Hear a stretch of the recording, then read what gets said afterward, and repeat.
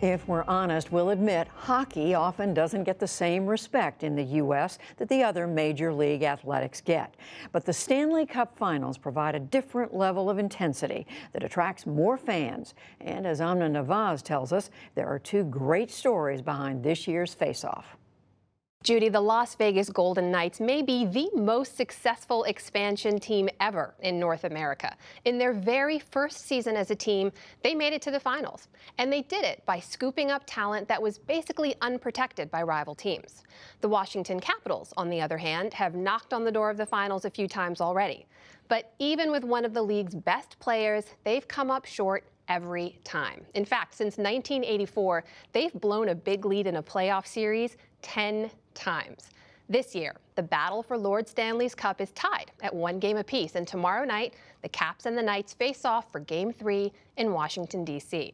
Joining us now is Greg Wyshynski. He is ESPN's senior NHL writer, creator of the Puck Daddy hockey blog at Yahoo, and co-host of the hockey podcast Puck Soup. Greg, you're a busy man. Thanks for making the time. uh, my pleasure. Uh, listen, let me ask you about this now. Perspective on this matchup. Just when you're looking at the Golden Knights, they weren't even a team a year ago. How crazy is it that we're talking about them as a potential championship winner? Well, I mean, everybody you talk to now will say, oh, we saw it coming. But of course, no one saw it coming. No one thought they would be a playoff team. No one certainly thought they would challenge for a championship.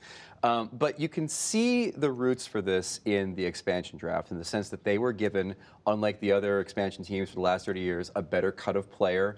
The NHL made the rules a little bit tighter on teams. So not only did the Golden Knights get better players for the draft, but the mm-hmm. teams were then leveraged into trading players to make sure that certain guys weren't taken. So the top line for the Golden Knights, their three best players, William Karlsson, Riley Smith, and Jonathan Marchessault, all acquired via trade versus being drafted.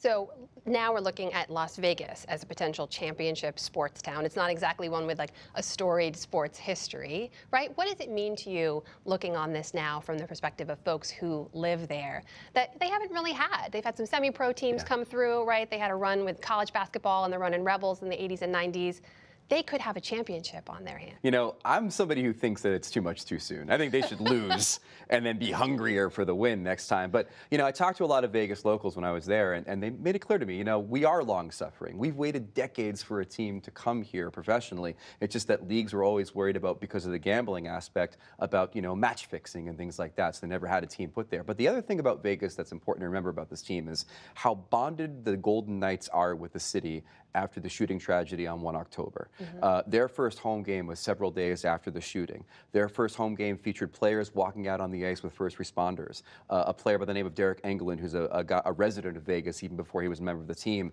giving a, an impassioned speech about how much the city means to him and how much the team wants to mean to the city.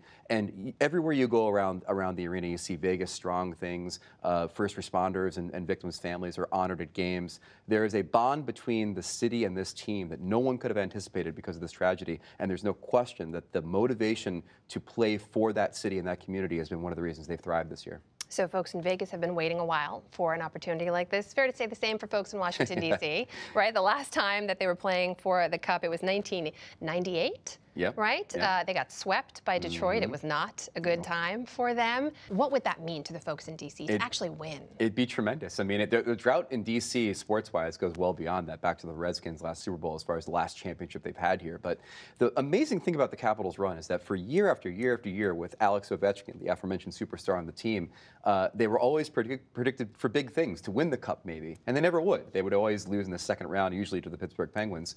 And so this year, there were no expectations really. You know, the, the window of opportunity looked like it was closed. They were going to go with a younger team, uh, a less proven team, and no one really expected them to win. So of course, what do they do? They start winning. They get past Pittsburgh for the first time in Ovechkin's tenure with the team, and now they're playing for the Cup in a year after everybody assumed their window to win was closed. And uh, it just goes to show you never know. You never know what's going to happen for your team. You never know. Game three will be one to watch. That's tomorrow night. Greg Wyshynski, thanks for your time. Thanks for having me.